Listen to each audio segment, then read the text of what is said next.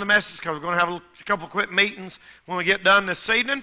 Math, uh, Mark chapter number 10, very familiar scripture. We'll read, and I'm just going to make a couple of comments tonight and, uh, and talk about the bus ministry and how thankful I am that our church is in the bus ministry and believes in the bus ministry, and uh, we ain't about to quit. Nowhere near it. Amen. Hallelujah. It's discouraging. The devil fights us all the time, but that just lets me know we're going in the right direction after bus kids. So let's uh, look in Mark chapter 10 this evening, verse 13. And the Bible said here, and they brought young children to him. These people brought young children to Jesus. Did you see that? They brought young children to Jesus. People say, well, I think their parents ought to bring them. I do too. I do too. But what if they don't? And what if they're drunk? What if they won't? The Bible said they brought them kids to Jesus. Period. That he should touch them. Not for a crowd, not for a number, that he should touch them. That's why they brought them that he should touch them. It ain't worth it just for a number on the board. It's, it's to, that the Lord will touch them. That's why we're in the bus ministry. And, and uh, his disciples got all mad and all self righteous and said, Ah, we don't believe in that, using gimmicks, and we don't believe in that, stuff like that. And the Lord saw it in verse 14, and he was much displeased. And I think, you can check me on this, give you a good study. That's the only time in the New Testament where it said Jesus was much displeased. When the woman was caught in adultery, it didn't say he's much displeased when they were selling stuff in the temple, it didn't say he was much displeased.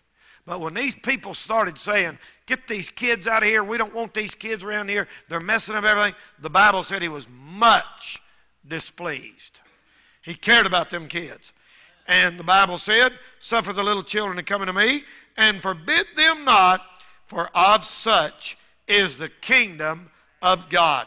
Verily I say unto you, Whosoever shall not, excuse me, receive the kingdom of God as a little child, he shall not enter therein. And here's what I hope he'll do to our bus kids next week. And he took them up in his arms and put his hands on them and blessed them. Glory to God. Hallelujah. Hallelujah. You know, I got to think about uh, Ethan and Molly, and, you know, we've had them uh, now for, uh, oh, it'll soon be a year in, in September and all that, and how that the Lord reached down and touched them. And I think it was uh, Melanie, I, I, I am not sure, who originally found them. If I'm wrong on that, somebody, somebody correct me. It might have been Kim, Corey uh, my, uh, at that time. Might have been, I'm not sure. But uh, one of them went to their little trailer and found them. And you know what the Lord did? The Lord took them up in his arms and put his hands on them and blessed them. So tonight, I'm going to talk about the bus ministry just a little bit. And my burden for the bus ministry began, you've heard that testimony, many years ago with uh, a conversation with Linda Hout uh, one night after we went visiting. I, when I first started preaching, I, want, I knew I wanted to be an independent, Bible believing, Baptist, King James only Bible preacher. I knew they were the closest to what the Bible taught than any other group. I still believe that, by the way. And, uh, and I wanted to preach the Bible. And there were so many of them guys that preached against the bus ministry. And I was 24 or 5 years old, and I didn't want them to think I was some kind of compromiser or something. So I, I, I was reluctant to get into the bus ministry. But I'd go hear these other preachers like Hyles and some of them guys, and they were busting in kids by the hundreds of thousands. I said, man, I want to do that. And then I go to some of these camp meetings, and some of these other preachers say, bless God, uh, you can get them in with a hot dog and run them off with a hamburger. And everybody'd shout and wave their hands. And I thought, man, Lord, uh, these are godly men. Are, are they right? Are they? Are you not supposed to give nobody a hot dog? Is it wrong? And, uh, and then I thought I'd go hear the other preachers preach, and they'd say, Look, Jesus brought them in there, fed the 5,000, preached to them. And then I'd hear another preacher say, Bless God, he's using gimmicks. If the gospel don't get them, uh, they ain't to get got. And I, I, I, I had all kinds of mixed feelings about it. One night, we went on visitation, knocking on doors. We came back up there uh, at, at New Manna, sitting in the in the foyer there of the old the old building, the old old building, uh, original one, and and me, Linda Howe, three or four people. We had about seven or eight people went visiting that night, and I remember we sitting around the floor like this. And I said, let's just take some prayer requests and pray. And Linda started saying, she said, Danny, she was keeping foster kids at that time. And Linda said, Danny, she said they brought a kid in the other day that somebody had held that kid down and took cigarettes and just burned its little body. And then she said somebody else filled a bathtub about that deep with scalding hot water, as hot as they could get it, and held it like an 18 month old. It burned all of the back of its legs, its bottom, its back, and burned that kid in a bathtub. And something happened to me that evening. I'll never forget it. It was like something just broke my soul. God, I don't care who likes it, who don't like it. Lord, those little kids need rescued. Somebody needs to care about them. That could have been one of my kids. That could have been one of my grandkids. And by the grace of God, I've been in the bus ministry ever since then. That was 1980 maybe somewhere along 81, somewhere along in there. I've been in the bus ministry ever since. And I, I, will, it's harder now than it was then. It's very hard now. It's hard to keep them going. It's hard to keep them uh, financed. It's hard to keep workers. It's hard to keep drivers. It's hard. The devil fights it because he hates the bus ministry. He hates every boy. He hates every girl. He hates every single person that rides them buses. He hates them. Do you hear me tonight? We are in rescue mission, people. This is a rescue mission. Not many churches doing it anymore. They say, well, it's a liability, it's a risk, and it sure is. But I'll tell you one thing uh, there, uh, there's somebody out there waiting somebody, some little kid out there waiting that somebody will come and take them to church. We see bus kids all the time that they look for their bus workers. We went to a house yesterday and, uh, uh, uh, and I went to knock on the door, and I went to knock on the door like that, and I didn't hit it, and it had a sign on the door, shining light, do not knock. Uh, uh, kids are gone to Florida, I, I like that, and, and I thought, you know what? That's a compliment. That's a compliment, brother. They know shining light is going to be there. Glory to God. I, hallelujah. I took that as a great compliment. I said, Hell, I'm glad we go to church. They didn't say, oh, well, it's, it's about the 4th of July. They'll never come on this weekend. Oh, no, no. Them people's crazy. They'll come anytime. They'll come Christmas. They'll come July the 4th. They'll, I said, thank God you better believe we will. You know why? Because we believe that we are in the greatest work in the whole world. I believe it. I believe it. All right. I'm going to show you a little something here tonight. And, uh, and, and, and part of this you, you've seen, uh, maybe not, not this one. This is sort of a new one, I think. And I just thought it'd be a blessing to you. It lasts about four minutes. And uh, if I can get a picture here in just a minute, fellas, uh, you, can, you can get the sound and the lights, okay? Uh, uh, I'm going to talk about the greatest outreach in America, and that, of course, is the bus ministry, okay? All right, let's see what we got here. Let's see if I can get it on. I might have to go get my, my thingamajig. There it is. All right. All right, let me start it over again. That's it. Amen. Okay, Jimmy, as soon as it gets going, you can. Uh... All right, come on. Get it up.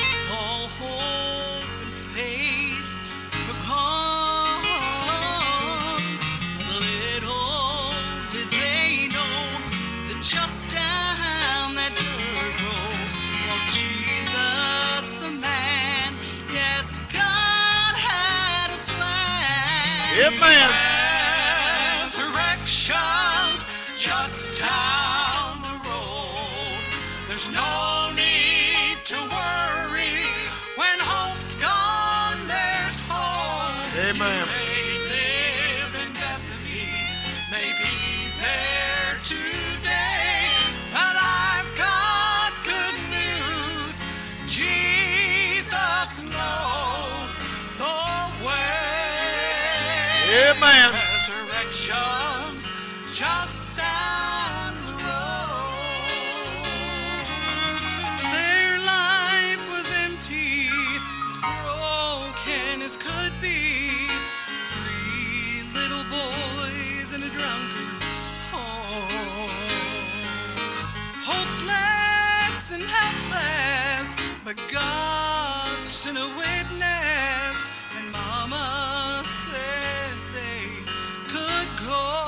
Amen. Little did they know just down that old road, the church bus they'd ride. Yes, God. Glory to God. Hallelujah. It works, y'all. It works. Make a difference in somebody's life.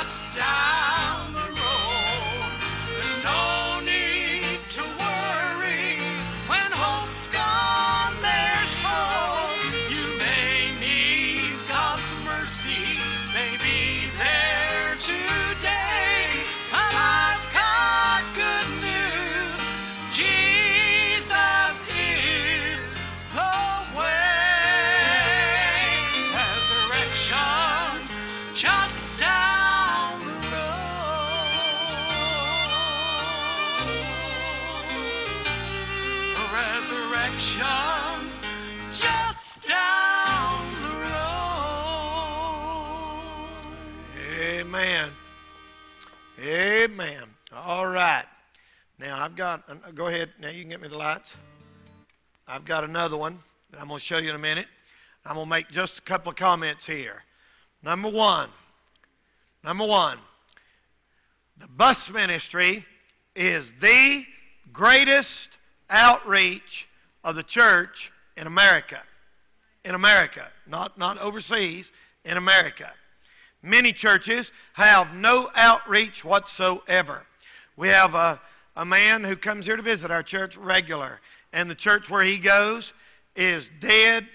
I mean, pitiful. Twice dead, plucked up by the roots, deader and deader and dead. Uh, a funeral home would have more life. And and I sort of asked, I said, man, why do you go there? He said, my wife. My wife makes him just about. And they have no outreach whatsoever. Some churches have sing-ins, and they get a big singing group and have a singing group in. Nothing wrong with that. Having a big time. I've been a lot of times been singing, and that's okay. And occasionally people come and get saved. But about all you're going to get with singing groups is other people from other churches who like singing, and they're already saved. Other churches uh, put up signs, put up billboards, especially in big cities like Charlotte. Nothing wrong with that. That's good. We got one out there. And I firmly believe in that. That's good. Other churches, uh, if they're really, it's rare, but go give out tracts or, or, or visit or go to the flea market or K, uh, Walmart, Kmart, and give out tracts. That's great. That's really a good step.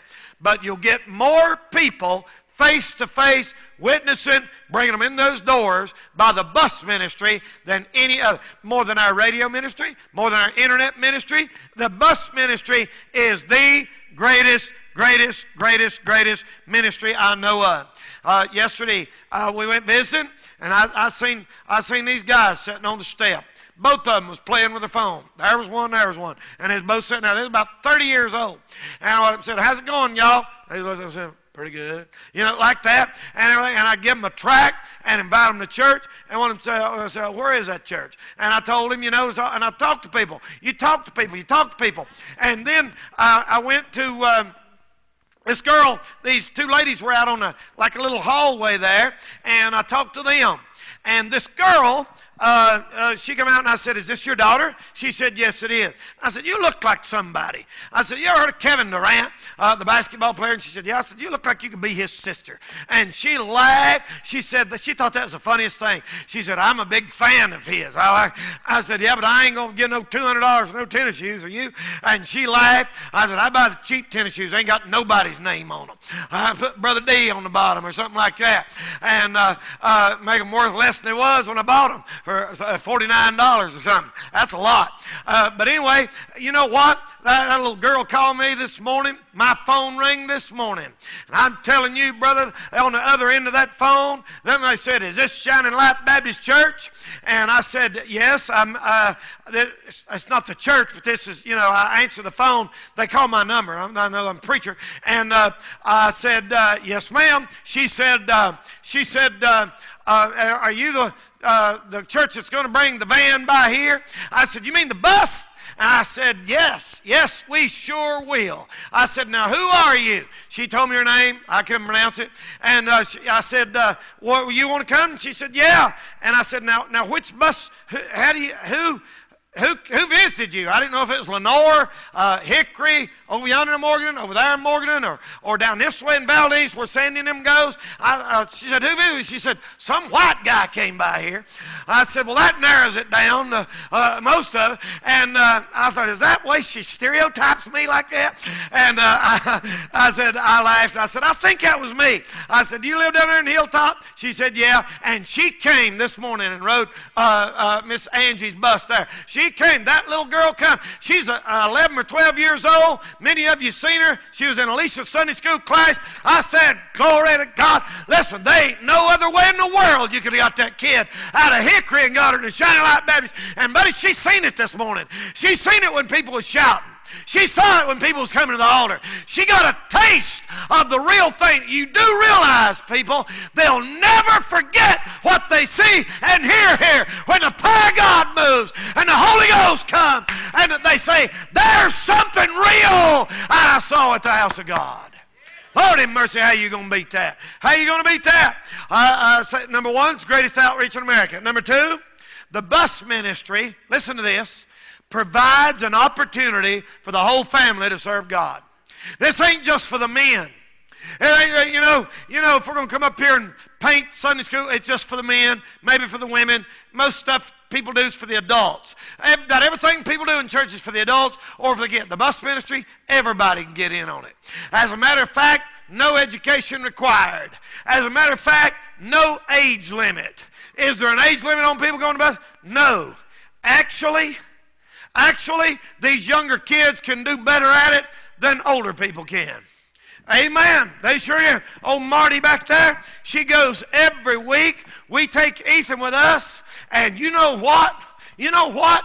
Do you realize? Do you realize that when kids come out and they're playing out here on their bicycle, and they see another kid?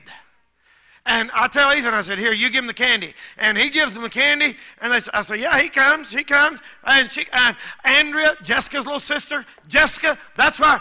I mean, think about it, people. If you're, if you're eight years old playing out in the yard, and, and somebody like me and him comes up, hey, little boy, you want to go something? no, get away from me.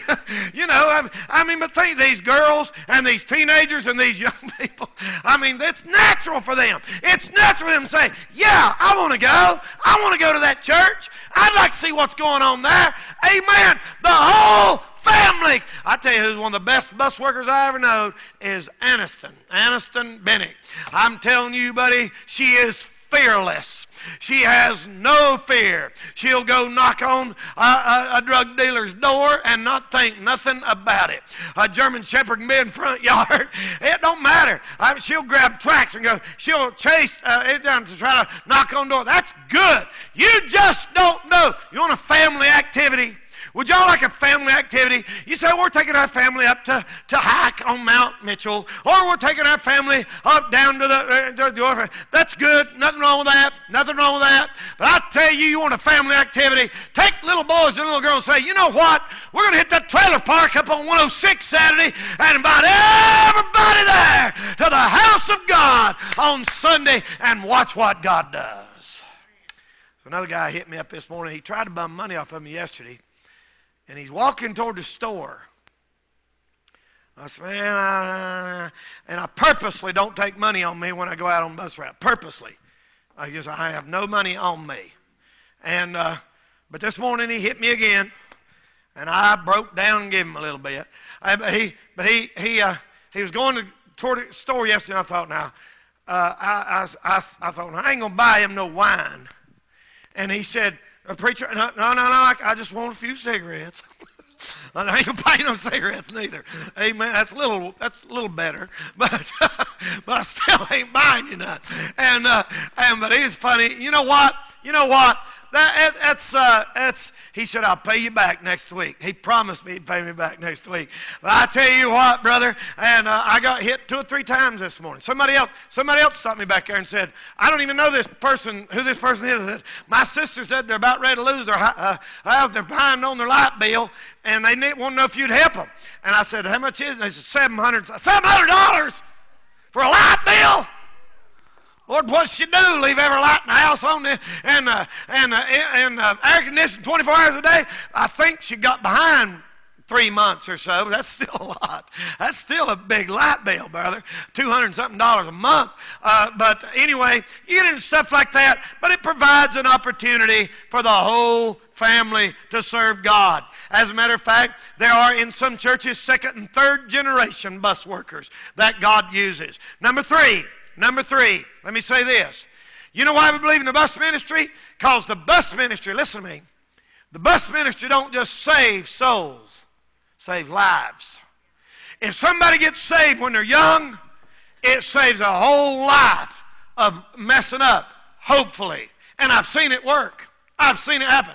I know people that are in the bus ministry right now that goes, Brother Gene them run buses. Sam and them run buses. New Manna still runs a bunch of buses. We run buses. We're the only group, I don't know of any other churches from McDowell, Burke, that, that run a consistent evangelistic door-to-door bus ministry. There are a few, but nothing like what we've got here in this county. Our bus ministry is unique in this county. Nothing like it in this county. Thank God God give us this opportunity. Thank God. Listen, us them big shot preachers wouldn't spit on me if I was on fire. And that's all right. That's okay. I can live with that. I'll tell you what, them little kids and their mamas and their daddies say, you know what? That's my preacher right there. And I like Brother Danny. And I want to hear him preach. And that's just fine with me. Glory to God. Hallelujah. Like Ohio said, I'll take the best kids. They save lives, not souls. We all hear testimonies of people that got on drugs and they come through it and God delivered. That's good. But the best testimony in the world is somebody can stand up and say, I never was on drugs. I never been drunk. I never got saved when I was 10 years old and served God ever since. That's the best testimonies they are. You'll never get on, on big TV show like that. That's the best testimony they are. The saved life, not just a saved soul. Amen. I told you this morning 60,000 people died in 2016 by drug overdoses. 60,000. And a lot of these kids believe that they are doomed to repeat the cycle. Mama's always on drugs, so I'm on drugs. Daddy's always drunk and living off the government, so I'll always be drunk and live off the government. And they believe that they're cursed, somehow cursed, to live in the same and I'm telling you this evening, there's nothing in the Bible that said a child has to follow the sins of their parents. Nothing in the Bible. Nothing in the Word of God. My daddy was a drunk. That ain't no, that ain't no excuse. Listen, God can do anything with anybody if he'll let him. Save lives. I'm tell you something. It reaches a segment of the population that would never be reached otherwise. Let's just face it. Big shot preachers ain't going to go to some place. Ain't going to go to Sin City over here in Valdese. All of y'all ought to come one Saturday and go to Sin City with Sandy and Miss Desi. All of you. Sin City's over there in Valdese with those parts. I don't know why they, well, I do know why they call it that. Uh, it's, it's, that's what they call all of it. Bouchelle over there in, in Morganton, Hilltop down there, where, where I was talking about a minute ago, and then Fisher Park, all the trailer park, not just trailer park. I mean, listen, there's places, there's places that you don't even know exist. Till you're riding down the road one day and the Lord says, Look, you say, I believe I'll go up this little driveway. And next thing you know, there's Marty. Next thing you know, there's a, and I'm telling you, bus workers, there's a whole bunch of little Martys out there somewhere. More and more, more. Uh, Crystal works for something, some big outfit the government runs. And uh, I forgot how many, how many kids are in foster care in this county. Huh? 248 kids just in Morganton. That's a lot of kids for a town this size. And there's thousands and thousands of them that are on the brink, running the streets at night.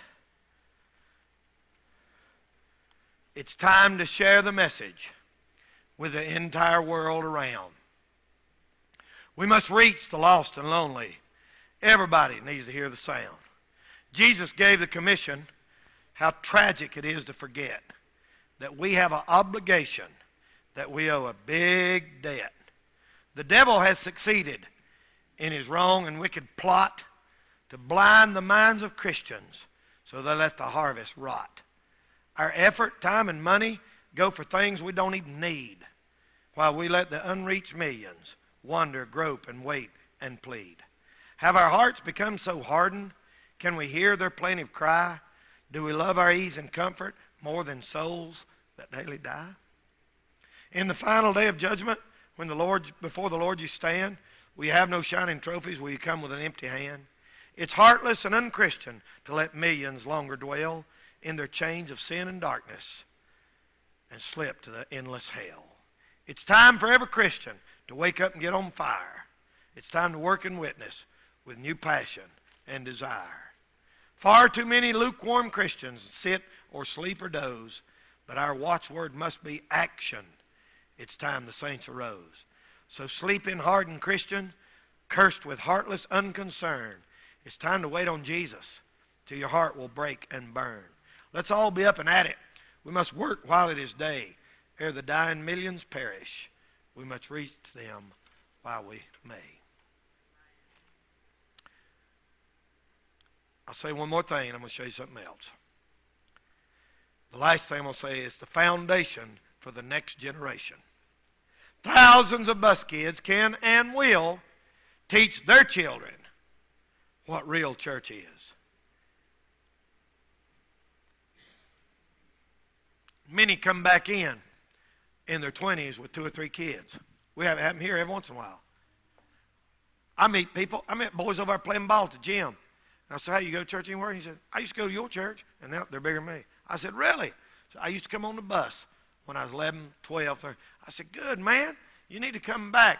And I'm telling you something, they ain't forgot what they heard you guys preach back there in that junior church. They ain't forgot it. They ain't forgot it. The Word of God gets in their heart. We went yesterday. It was a rough day. It was hot. Dennis, Brother Dennis and Gina canceled a trip to go see his dad to help us just because we were so short-handed. Miss Ava, Blanca, and Kelly went and covered all that over yonder, John's route. Then Kelly went to Lenoir and did Vicky's because Vicky's out of town. She left yesterday at 9 o'clock and got home about 7 last night. Thank God for her. I sent her a text and said, You don't know how much I appreciate you doing this. Buddy, we seen them come in here this morning. Worst Sunday of the year. And, brother, we had a good crowd come in on the buses this morning. Glory to God. Hallelujah. Hallelujah. I'd hate to hear them screaming on the judgment day. Shining light, you never told me. You never told me. Let's watch one more. I love this song. I love this song. Sound like Willie Nelson, but I like it. I don't even like Willie Nelson, but I like this. He ought to sing this if he'd get right with God.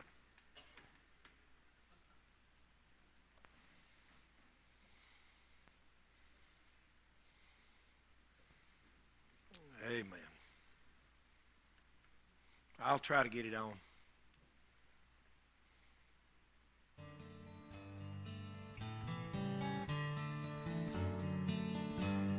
Get up bit. Staring out the window as the rain comes pouring down. My heart soars Listen to this. as he rounds the bend. Woo! He's always right on time. That's your bus worker. He greets me with candy Amen. and a big smile on his face. Oh, Lord. An angel on my in this ungodly place. Then he drives me to Sunday school where they teach about God's grace.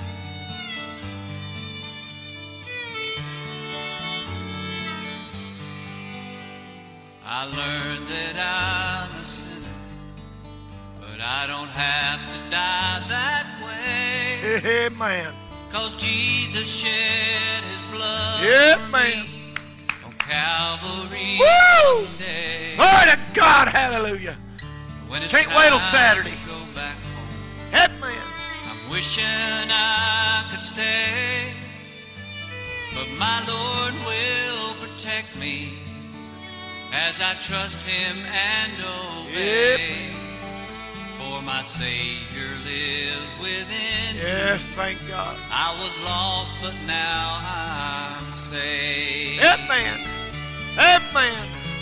I thank God that Jesus died for little kids like us. Yes, thank God. In His wisdom, He had planned someone who cared enough. Woo! Glory to God. Amen. Amen. Amen. Hallelujah. Thank God for the buses. Thank you, Amen. Lord, for sending me the captain of the bus.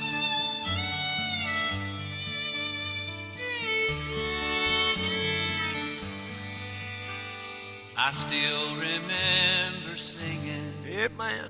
Jesus loves me, this I know. Yes, thank God. So grateful for the peace I've found and the joy that fills my soul. So if you're lost and searching, confused and Yeah, all man. alone, the shepherd came to give you life. If only you will come.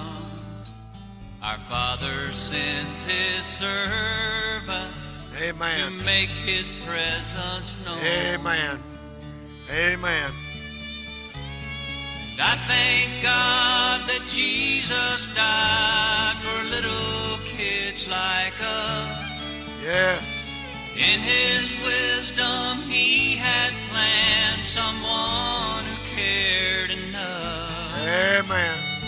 Tender heart, soft spoken, gentle with his touch. Thank you, Lord, for sending me the captain of the Amen. bus. Amen. Amen. Amen. Thank you, Lord, for Jesus, the captain of Woo!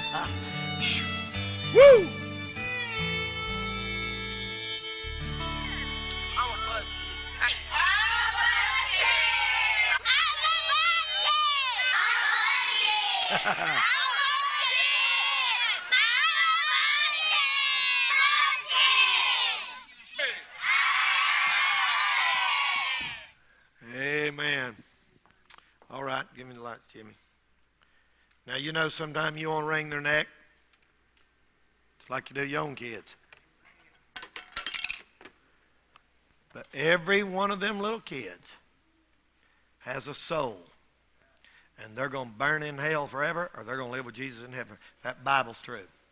If the Bible ain't true, we ain't got no right to even open these doors and be in here.